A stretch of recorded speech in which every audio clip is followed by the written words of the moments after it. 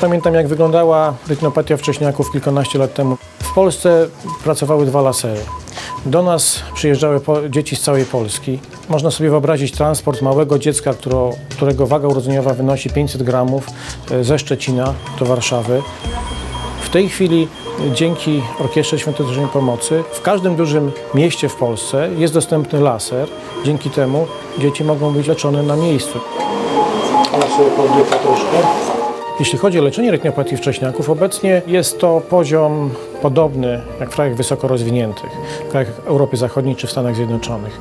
Ale to też jest zasługa Wielkiej Orkiestry Świątecznej Pomocy, ponieważ przez te lata pracy fundacji zostało zakupionych bardzo dużo sprzętu, lasery, ale nie tylko lasery. Trzeba pamiętać, że było kupionych bardzo dużo wzierników pośrednich, a więc urządzeń, które służą do diagnostyki retinopatii wcześniaków.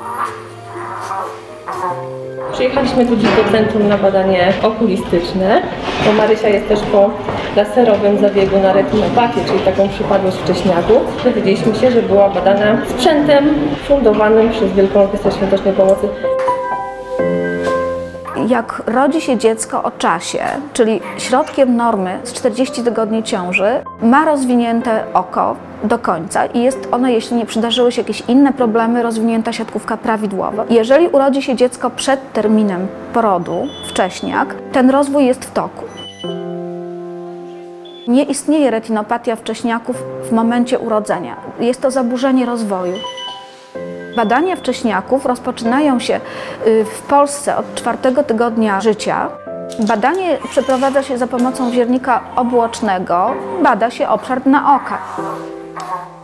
Myślę, że badania przesiewowe są bardzo potrzebne i dobrze, że mamy takie badania u nas, ponieważ ja jako matka mam pewność, że moje dziecko nie będzie miało żadnych problemów.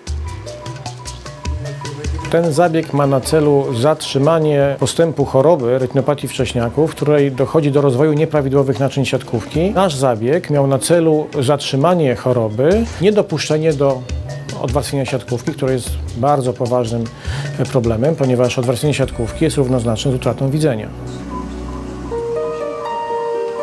Zawsze wspieraliśmy tą akcję, ale od tego roku będziemy ją wspierać bardzo, bardzo mocno.